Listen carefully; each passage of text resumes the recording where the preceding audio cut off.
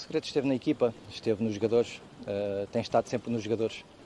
Uh, nós temos uma equipa muito jovem, uh, hoje a média de idade penso que era baixíssima,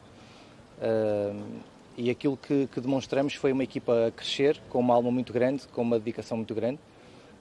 é uma vitória totalmente merecida por nós, é uma vitória dedicada aos jogadores, que tem repartida com os nossos adeptos, que têm sido pacientes connosco também e que nos têm apoiado mesmo nos momentos em que nós, uh, por vezes, não, não conseguimos retribuir-lhes com vitórias. Uh, e esta vitória assenta-nos bem. Penso que nós conseguimos fazer um jogo capaz, um jogo muito, muito completo. aproveitamos o facto de, de, de podermos jogar com três defesas para podermos fechar um bocadinho mais o espaço, o espaço entre linhas que sabíamos que seria, que seria tentativa de, de aproveitamento. E sabíamos que depois teríamos capacidade para sair eh, com critério para a frente. Eu penso que fizemos eh, o, quase o triplo dos remates do, do, do, do Benfica eh, e isso refere também a nossa capacidade para sair e para sair com critério, para sair com, com armas para, para podermos atacar a baliza e com capacidade para chegarmos à frente. Quanto é que vale esta vitória para o Vasco Seabra, além dos uh, três pontos de Irmiac, e essa seria a resposta naturalmente uh, politicamente correta, mas quanto vale esta, esta primeira vitória, uh, não só pelo adversário, mas também pela ideia de jogo, porque o Boa Vista, quando foi contratar o Vasco Seabra, contratou uma ideia de jogo. Quanto é que vale, nesse sentido, esta vitória um, e para o Boa Vista não ter perdido essa identidade e essa ideia de jogo que traz precisamente deste, desde a primeira jornada?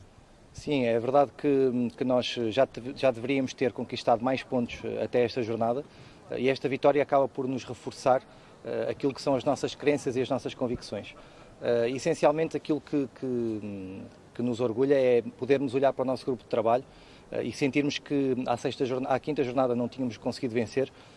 e a cada dia que passava os jogadores trabalhavam mais e entregavam-se mais ainda com uma convicção maior e com uma alma ainda maior para conseguirmos que as nossas ideias, eh, porque isto é uma ideia de equipa, é uma ideia de clube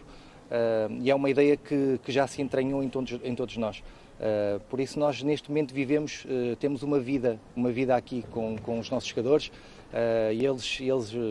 merecem esta vitória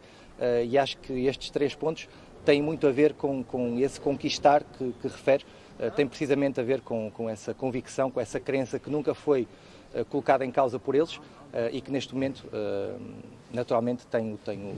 tem o valor da, da, da vitória que, que fizeram por merecer ter melhorado o registro ofensivo da equipa, ter melhorado também o registro defensivo do uh, Boa Vista e tendo saído agora do, do penúltimo uh, lugar, uh, permite-lhe trabalhar também já o próximo compromisso do Boa Vista, creio que é em Faro, diante do, do, do Farense, de uma outra forma. Sim, trabalhar sobre vitórias é, é, é inegável. Uh, a verdade é que este grupo de trabalho, volto a referir, uh, se tem entregue de, de, corpo e alma a tudo que é, tudo que é a nossa capacidade de trabalho e de, e de ideia de jogo, uh, e sentimos que naturalmente esta vitória nos, faz, nos faz respirar, mas sabemos que temos um longo percurso a, a, a fazer, sabemos que temos um campeonato muito longo, muito difícil, vamos passar por momentos muito difíceis. A nossa equipa tem uma vontade muito grande Uh, e sabemos que, que esta juventude que nós temos vai dar frutos, sabemos que esta juventude vai trazer para o clube uma visibilidade muito grande e sabemos que também precisamos e precisaremos dos nossos adeptos para nos apoiarem, para continuarem a apoiar-nos uh, e para nos fazerem e nos ajudarem a crescer nestes momentos.